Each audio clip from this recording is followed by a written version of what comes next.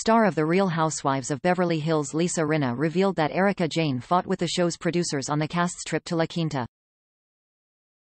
The singer broke down after Garcelle Beauvais shared a previous conversation to the group. Jayne removed herself from the group to continue her breakdown privately. The fight that Rinna revealed on her Instagram story did not make it to air.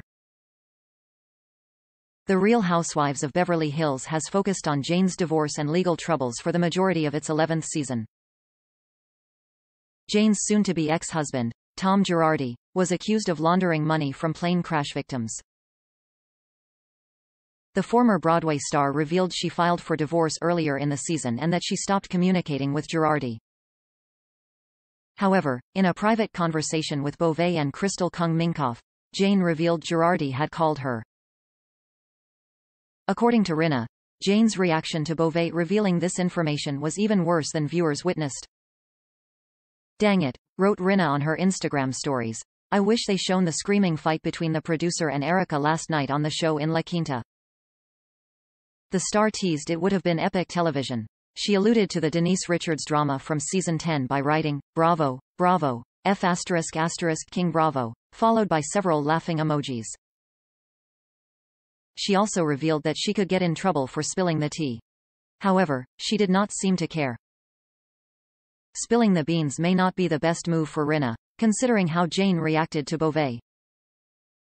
The teaser for the trailer also insinuated that Sutton Stracke will suffer Jayne's wrath for talking out of turn. You have a lot of F asterisk asterisk king nerve, said Jayne at Stracke before coldly telling her to shut the F asterisk asterisk K up.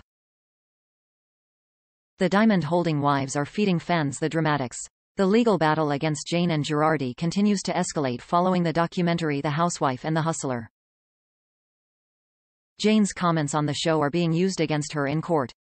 Unfortunately for Jayne, that is a lot of flaunting her wealth. She was infamous for bragging about her glam budget in particular.